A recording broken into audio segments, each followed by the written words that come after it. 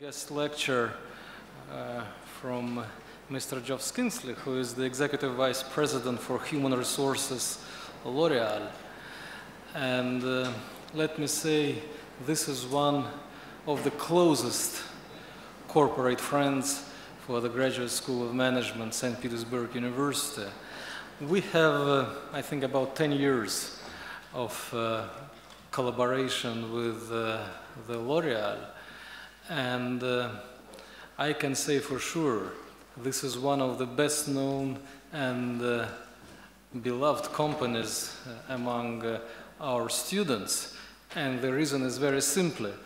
We enjoy the fact that L'Oreal has a number of global business games uh, in business uh, enterprise in general, in branding, in HR, but equally true we are very happy with this fact because our students are the most frequent winners uh, in these business games. Uh, and uh, listen carefully, not only in Russian Federation, but globally as well.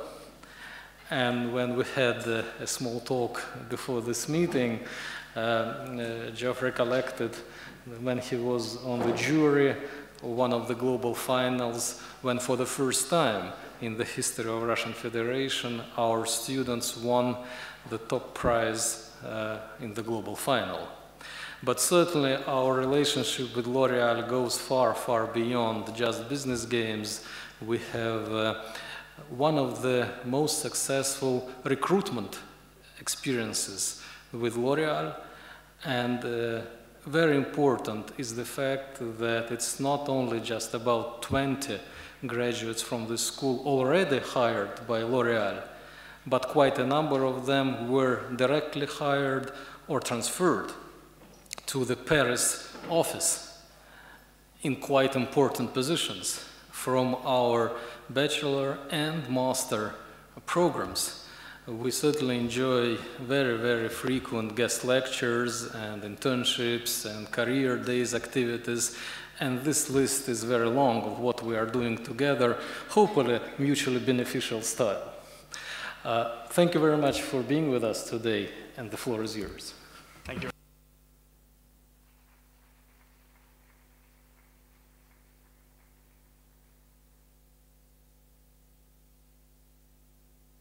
That's it? Okay.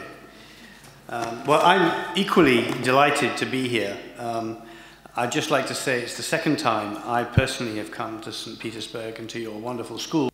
But the last time I came, it was still being restored. I came and did a talk in a smaller room to a smaller number of students while all the wonderful renovation work was, was going on around me. And I come back five years later and I see these truly magnificent halls and this wonderful establishment that you built, which not only has a fantastic historical resonance, but of course a very, very strong academic reputation. So we are very proud and happy to be long-term partners with the Graduate School of Management in St. Petersburg, and this is one more um, brick in the wall of a very strong edifice of that partnership, which has already run for 10 years and we hope will run for many more years. So I have a, a small amount of time with you uh, when I would like to introduce you to a company an industry, and also talk a little bit about developing leaders. Now, I'm in the uh, premises of a very august management school, and I would not dream to talk to you about strategies for developing leaders, but we have at least a philosophy, which I will try and briefly explain to you. But before I do that, I'd like to talk a little bit about the company um, and really why we have been able to be as successful as I think we have. But the first and one of the most important things about our company is that we are single industry. We are very large, we're a Fortune 200 company, but we've built our reputation and our success through a single industry, which is the beauty industry. And we do it because we believe that every single man and woman on the planet aspires to look their best, feel their best, and as a result, we have a mission that's a very universal mission. It's to offer women and men across the world the best quality, most effective, safest cosmetics and thereby satisfy all their beauty needs and desires in all their infinite diversity. So there are as many different beauty needs as there are people on the planet. And we have to find the right way of, of accommodating all of them and through every single channel. And this beauty market is a market that is often underestimated because people think, well, it's, it's beauty products, you know, they don't really matter that much. But actually, Um, there's several ways of illustrating that this market is a very fundamental and important little pillar in society.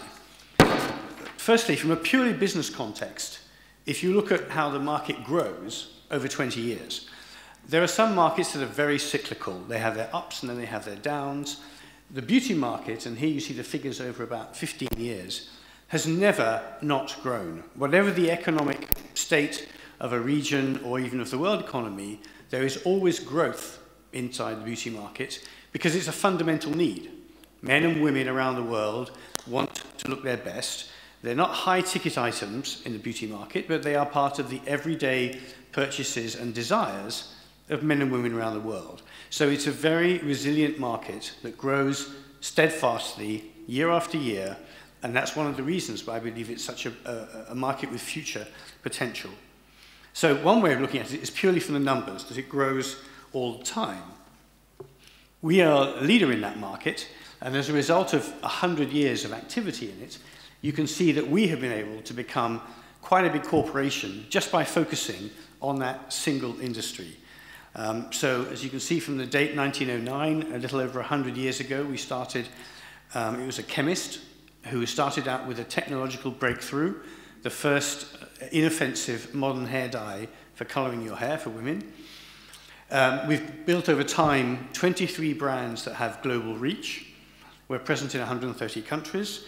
Um, you can see the sales figure in euros. That's worth about $28 billion last year probably about $30 billion this year. Um, and rapid sales growth, you can see that number of 11% for 2010 was two and a half times the rate of the market growth. So we're managing to grow faster than the market.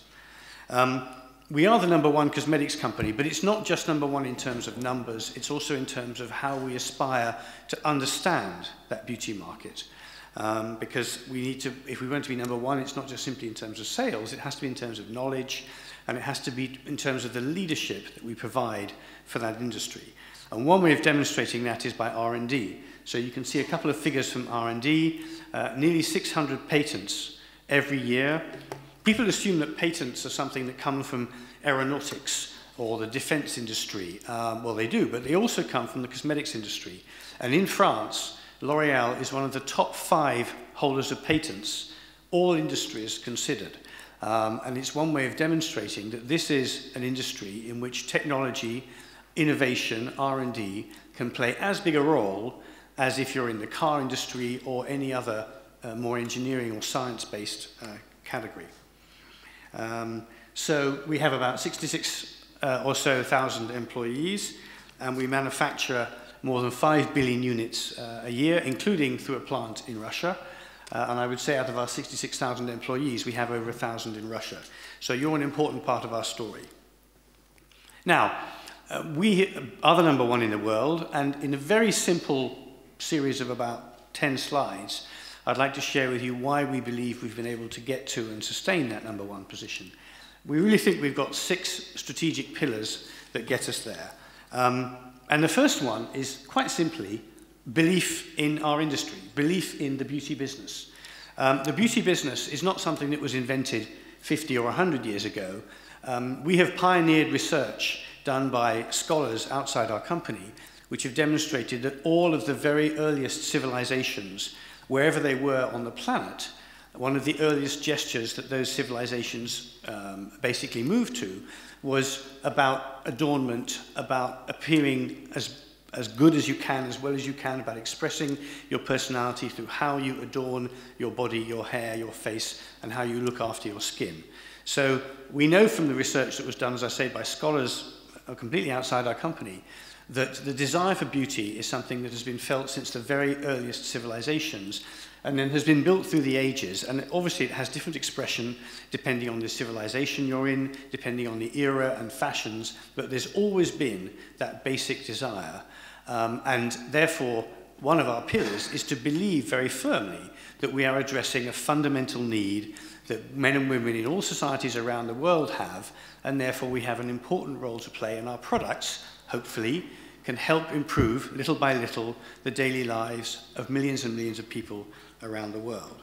Um, and it's also encouraged us to have a very universal vision of beauty, not a single vision with either a single brand or even a single emblematic figure, but a galaxy of brands and a galaxy of expressions of what beauty looks like, depending on who you are and how you want to appear to the world around you.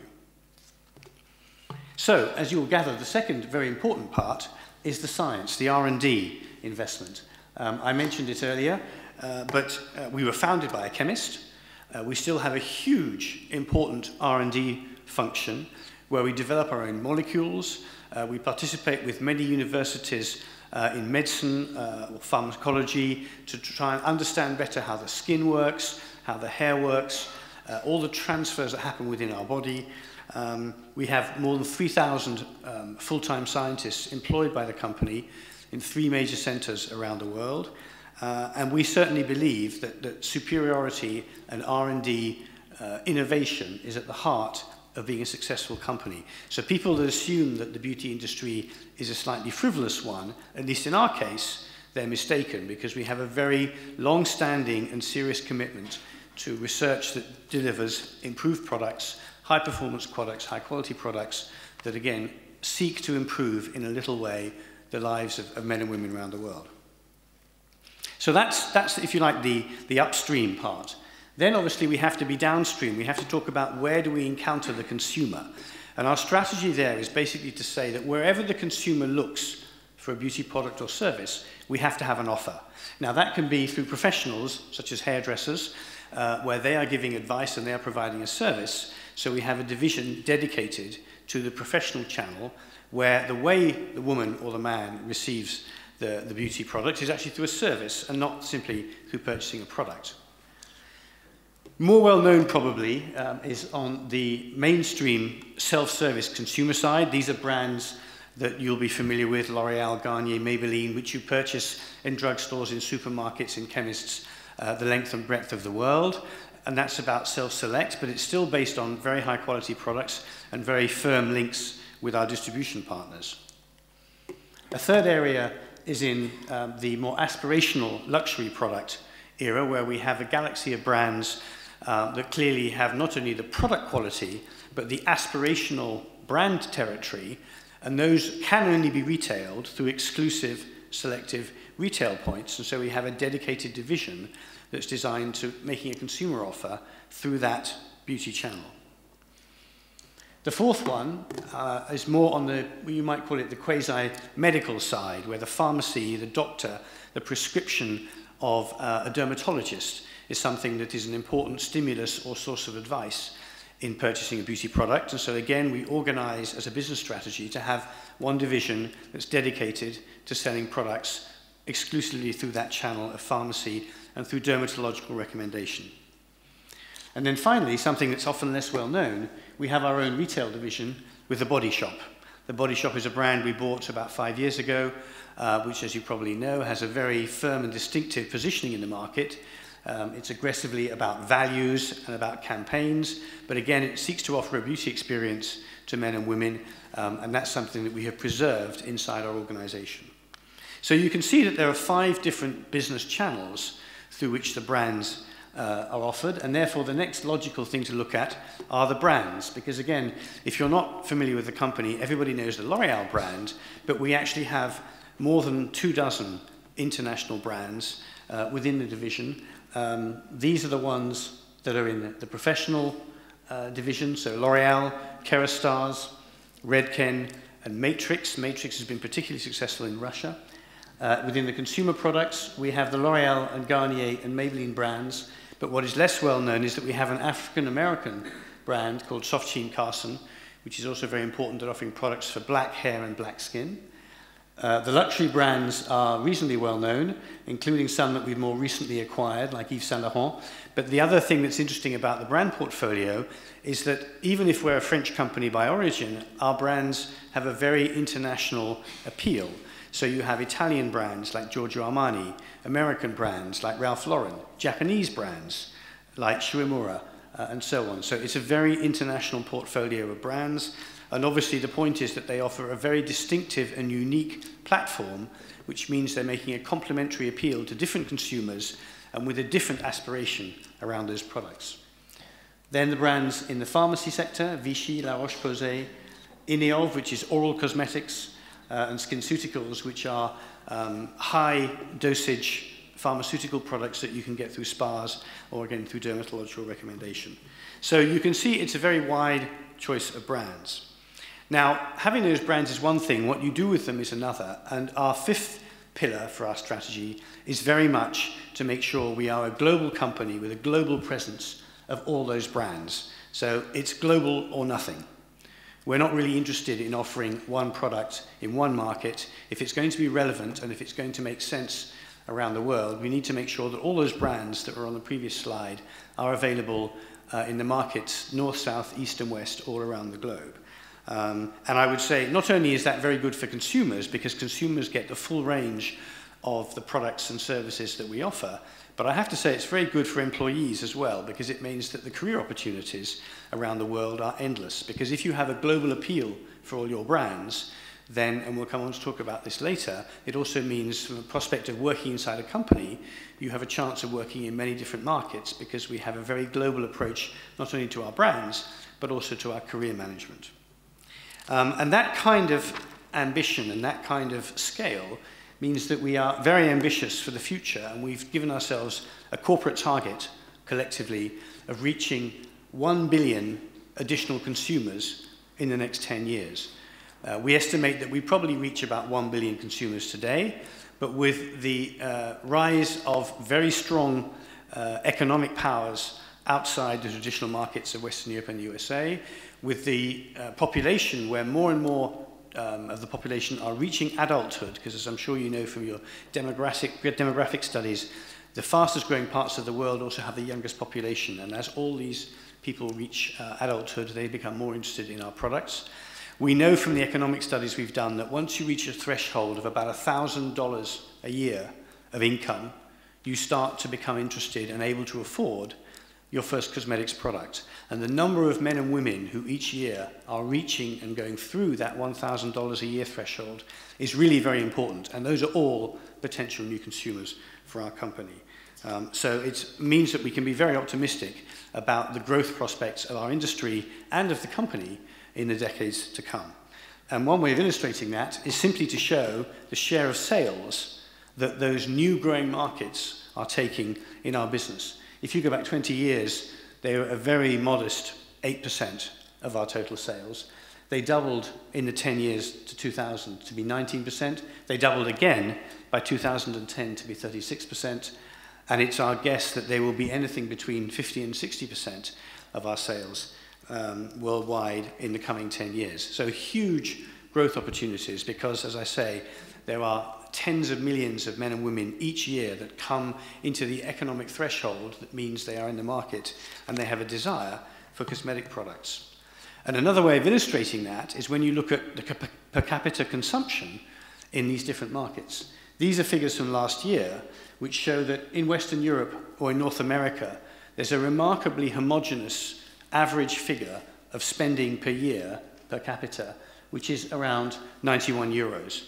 Currently, in the markets outside Western Europe and, the, and North America, it's only about 11 euros a year.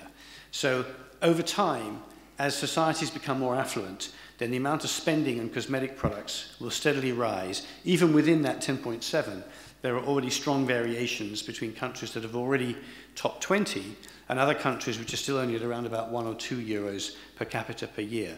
So again, it's another way of looking at the, the sheer perspective for growth that there are on all these markets uh, for the coming decade. Now, just one sort of page on business strategy. Um, it, obviously, we've got the, the, the, that different range between the well-established markets and the new markets, so we have to adapt our business strategy to take account of each of those uh, different prospects. Now, it's a slightly complicated slide, but it's designed to illustrate that there are very different business challenges depending on where you sit on that occasion, and it also illustrates that the 1 billion consumers that they were after uh, is something that all the countries in the world for L'Oreal can contribute to. If you take the most mature in terms of um, spending markets, such as the US and Western Europe, we already have a 20% market share, but 20% is not a huge share of a market. There's still 80% left to grab. And we know, for example, in a country like Germany, that one in two women don't buy a single product from the L'Oreal portfolio at all. So um, it's even in the mature markets where we exist, we know that we can go and search out new consumers with new products and new services. And obviously, as you move along the scale, we have the BRIM countries, of which Russia is one, where we are already at around about a 10% market share and growing strongly. And there it's really about increasing our presence, increasing our visibility and availability across those markets. But as you move to the newer markets, um, which we call the next wave, um, you can see our market share is smaller, so therefore we have to make sure more brands, more products are present. And there are some markets where we've really scarcely begun. Uh, so in terms of, of, of the business adventure we have in front of us, um, you can really find a stimulating business strategy to fulfill in any one of those four different uh, geographic regions because all of them offer a potential for growth. Um, and as I said, in some of those markets, we've really only just started. Now, there's one other aspect of the company um, which I'd like to mention, which is important uh, because I think it's a, it's a non-negotiable in, in business these days, which is that we have a very responsible and sustainable approach to how we run our business. Um, now that's about the way we plan our innovation, it's about the way our research is run, it's also about the way we do our production, uh, the way we plan consumption. And uh, back in 2003, before it was uh, quite so fashionable, we set targets for our own control uh, of sustainable development. And since 2003, we have reduced by a factor of about 20% our CO2 emissions, our water consumption in production, our energy consumption, and our waste uh, uh, targets. All of those have been reduced per unit produced by more than 20% since 2003 and we have publicly declared that we will reduce them by 50% uh, by the end of the decade. So we very much believe that as part of our role of, uh, in, in society, we have to make sure that the business that we are conducting is done in a responsible way that is alert to the environmental questions that are out there, alert to the role that the community plays, so we have a very active involvement in our communities, uh, and equally in terms of ethical standards, we have a, an ethics officer who reports directly into the CEO, uh, and so we treat all the range of what you might call corporate social responsibility very seriously, whether it's in research, whether it's in production, or whether it's in how we market our products, or whether it's in the conduct and behavior of our business. So that's a very important part of our, of our business proposition. And the final one, which we like to think of as our secret weapon, are the talents inside the company and the culture of our company. Because we are a very special culture. I don't know if anybody in the room has already done an internship or been exposed to our company, uh, but, but we do like to believe we have a very special culture, which in part is linked to the fact that our industry, the beauty industry, is really quite different. Beauty products are about performance, but they're also about emotions, they're about aesthetics, they're about fashion, um, and so it's a tremendous melt melting pot in our market where you have to bring all sorts of different skills to bear, and that creates a uniquely energizing environment, we believe, um, because we have people that are passionate about that single industry and about the products and brands within that industry. And it creates a culture where we encourage everybody to have their own adventure inside the corporation. Our, our, our HR philosophy is really about trying to make sure every individual feels that they are developing themselves, themselves inside the corporation. So in a nutshell, this slide sums up, I think, what we're about. We concentrate on a single business, which is the beauty business. We have a passion for research and creativity. We have a cult of excellence and quality, because otherwise our brands wouldn't have the reputation they have today. We have a strong corporate culture with a very strong focus on people and an exceptional commitment to our employees. Now that begged the question for how do we develop leaders? And I believe we do have a reputation for developing leaders within our organization, both inside the company and also outside the company, and we've been given awards for our development of leaders. Now, again, I would not seek in a, inside a very, uh, very high caliber business school to try and uh, preach as to how uh, one should develop leaders, but I know we have a certain philosophy which I'm going to try and summarize on three slides and that has proved itself over the last 20 years at developing leaders. The first one is quite simply recognize them early. We believe that leaders have something inside themselves that simply needs to emerge, needs to be, uh, if you like, helped to come out. Um, so when we are doing our student uh, interviews, we're looking for people that demonstrate future potential for leadership. We're not simply looking for somebody who at 22 has achieved a certain amount of, uh, of uh, say, academic excellence. That's very important. But beyond academic excellence, we're looking for people that demonstrate future leadership potential. And we put a lot of effort into trying to identify what those characteristics are that allow you to set up leadership potential. The second part of it is making sure that when people do join us, very quickly they get their first chance of a management position when they can start to demonstrate what leadership they have inside them. We try and make sure that people within three or four years, whether they're in finance, whether they're in logistics, whether they're in marketing, whether they're in commerce, all of them have access to a first management responsibility that gives them a first taste of organizing other people, demonstrating vision for a part of the business, and therefore developing their leadership. And our training is not only skills training. Often students say, we need training, we need training. The training that we offer is meant to be complementary from what you would get from a business school because the business school will give you tremendous academic structure uh, about business and we therefore want to focus a lot more on the personal development side and allowing your own personality to emerge and allowing you to gain confidence in yourself as a young manager. Um, and finally, our philosophy is about each individual realizing his or her own potential in his or her own way, through their own personality. We do not have a standard um, clone, if you like, for what a, a L'Oreal person looks like. Um, and we want people's managers to, people's management style to evolve in the way that's most comfortable with their own personality. So the first part of the philosophy is try and spot leadership early. The second one is to create the conditions then for that leadership to emerge.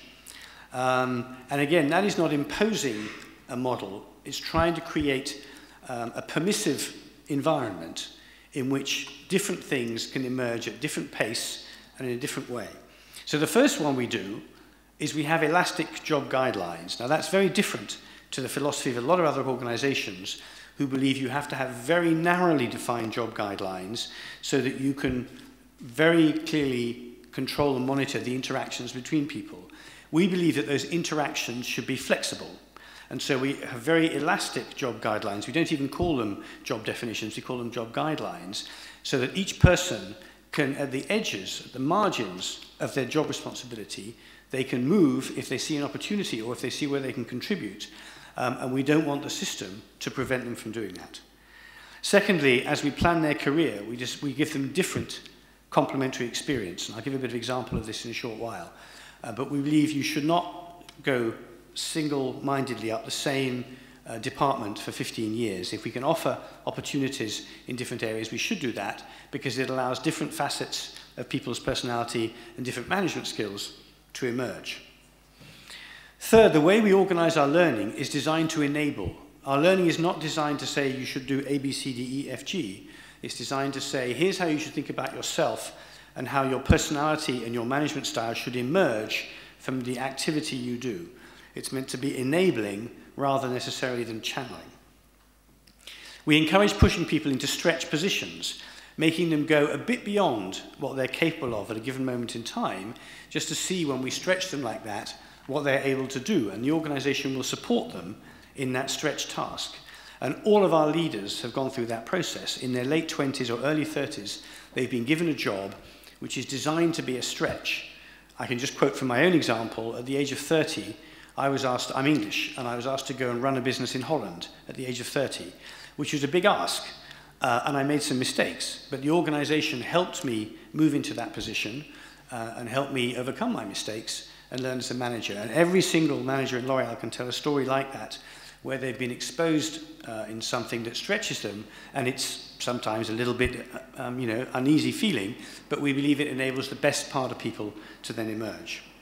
We have no single management style. People manage as their, as their personality and character uh, would, would dictate.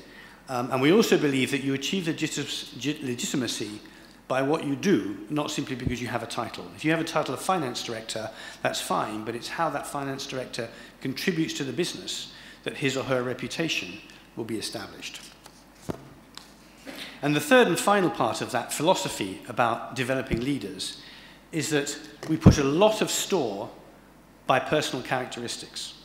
Um, uh, so again, we don't manufacture leaders. Leaders emerge because of their personal char characteristics. And some of those I've listed on the chart.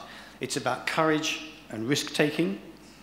It's about decisiveness and conviction. Leaders have to show conviction if they're going to bring a team to meet ambitious targets. It's about strong communication ability and the ability to mobilize other people around them. And it's about perseverance and tenacity because it's not an easy world. The beauty business is a very competitive world with very strong companies, with very strong retailers, with very demanding consumers. Um, and you have to have that perseverance and tenacity to make sure that your ideas and your ambitions are going to actually be realized in that environment. So it's what I say at the bottom. It's the spirit of an entrepreneur inside a large organization. So we know we're a large organization. We have to have a minimum number of structures and boundaries, but we try very hard to keep the spirit of entrepreneur alive and to enable people to feel that they can be an entrepreneur inside that organization, and that encourages leadership to emerge. Um, and uh, the example I would give for how we then put that into practice at the highest level is if you look at our board appointments, the average age of people being appointed to our board is 44 years old, and we're a 30 billion US dollar company. Um, so that stretch and that belief in people goes right through to the top of the company where we believe in promoting people, stretching them into those jobs, even at board level. So I thought it's only fair to then illustrate a few examples from what I've been saying. So here, from Russia, are some examples of people who have developed that leadership, who have demonstrated it, and who have emerged, but in quite different ways. If you take Sasha Emelianov, um, he started out as a sales manager in the mid-90s, and as you can see from his CV, uh, by the time he turned 30, he was already a commercial director here in Russia. And then at the age of 31, he was made a commercial director outside Russia, in Slovenia. Uh, he became a general manager of the Vichy brand in his early 30s. Um, and he's progressed through, he's now in Greece, running one of our divisions.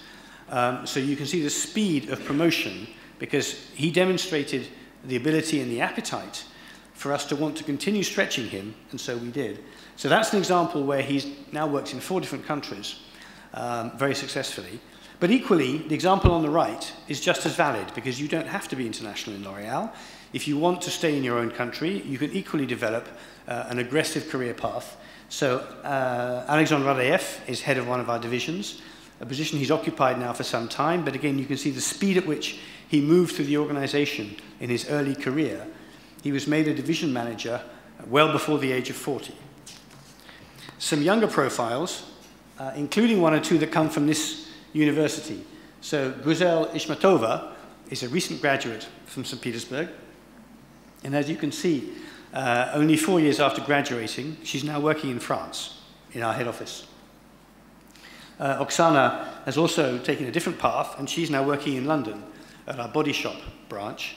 Uh, and equally, you can see the number of times that she has been promoted in a fairly short space of time has showed that we're delivering on this idea that we want to stretch people and give them the opportunity to demonstrate their own leadership capacity by giving them rapidly, rapid access to management opportunity. Uh, those were mainly examples from marketing, but we have examples from other uh, disciplines. Um, you can see here uh, somebody who's moved between sales and marketing, Alexander Kazantsev, who's also a graduate from St. Petersburg. Uh, Yuri Samarodov uh, is stayed in the sales uh, discipline, but as you can see, at a very young age, he's already a regional sales director in one of our divisions here in Russia.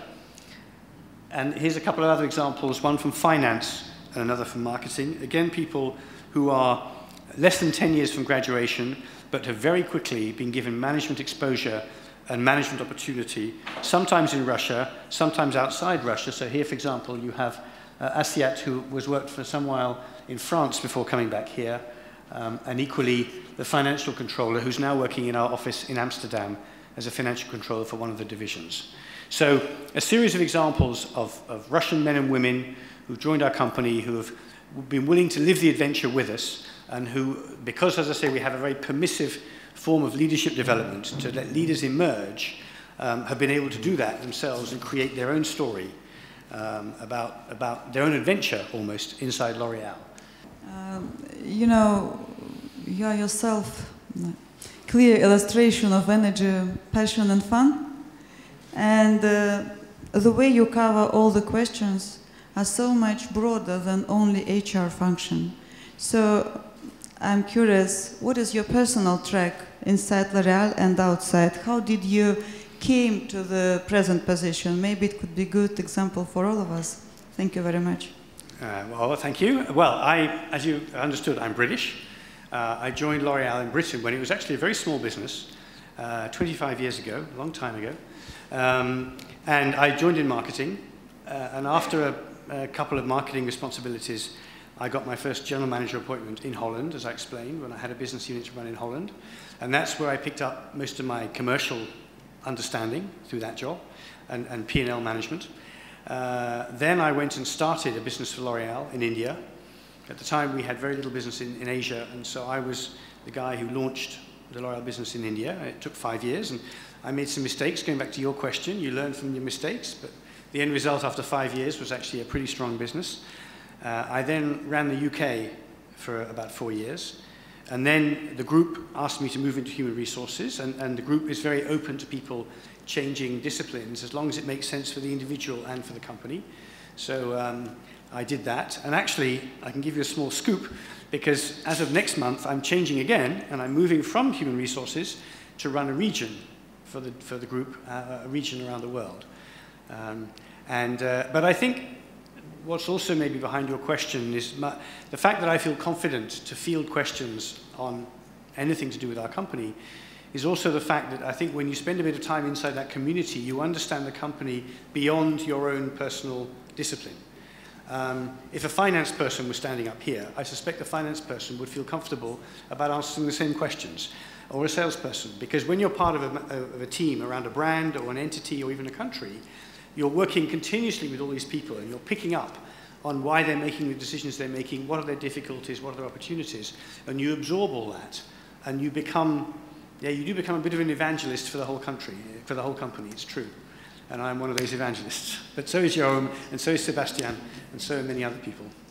Thank you. Um, any last question from the floor? Yes, please. Um, thank you. Uh, I would like to ask you, um, how did education influence your career? Actually, how did it help you in L'Oreal? Um, that's a very. I did not do a business degree. I have to tell you, I'm afraid I did not do an MBA. Um, I studied politics and economics at Oxford. Um, I think what the education did is it firstly taught my mind how to analyze and how to reach my own convictions. That, that's what I think my university education, it, it basically trained my mind or enabled my mind to know how to analyze something, how to choose between different interpretations of events, and then how to forge my own convictions. So that's, I think, what it did for me. As I say, I didn't have the benefit of, of an MBA, and I'm sure if I'd been given some of the, that business theory, I maybe would have made fewer mistakes than I did in my early career. But, but I think what, what uh, academic rigor teaches you, and particularly if it's enlightened, like, like your institution here, it's designed, I think, to expose you to a wide number of interpretations of events, know how to analyze them, know how to make your choices, and then forge your own convictions about what the right decision is or the right approach is in a given set of circumstances.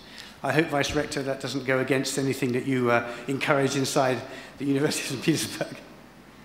Uh, let me also use a chance to ask you a question. Uh, what are your expectations for the new generation of managers which is sitting in this room? In a few years from now, they will probably come out and uh, battle the generations of managers and leaders who are now in the positions uh, in L'Oreal as well. So uh, it's not about only ambitions and enthusiasm, but what do you think they should be equipped with to be very successful in this battle for leadership in such companies as L'Oreal in the years to come? Um, well, I, I, mentioned in my presentations personal characteristics, and I think those will remain important um, for any generation and for any nationality. Um, I think that one of the advantages that, that your generation has is that you, are, you have no boundaries. Um, a combination of openness and, and the internet age and technology means that, that you can conceive of the world and of business opportunities in ways that my generation never could. Um, so you will still need the same, I think, academic rigor and business skills and personal characteristics to, to, to get ahead, but you will bring something that my generation didn't have, and therefore you will take my place. And you will take the place of, of my generation because I think you have this, this limitless idea of what is possible. Uh, you know how to access knowledge and opportunity from all sorts of different places uh, that we wouldn't have dreamt about doing. So, uh, and I know, I mean, people talk about, you know, the, the, uh, this generation and it has all its hallmarks. I personally think that the values of your generation are very in tune with the L'Oreal culture. Because our culture has always been an entrepreneurial culture. It's always been a culture about people to bring energy and to push the boundaries. And your generation is particularly well equipped, I think, to meet that. Unlike, say, the generation of 15 years ago, which brought a different maybe set of characteristics to organizations. Um, but but I, I, I, genuinely think that, that, that you are, what characterizes your generation is particularly well suited to go inside an organization like ours. And we haven't changed our organization to adapt to you. We've always been like that. But I just think it's a meeting of opportunity between a culture that has shown that it can work in different countries around the world and over the, over the generations. And you are bringing a particular set of skills and set of possibilities that I think is very in sync with L'Oreal.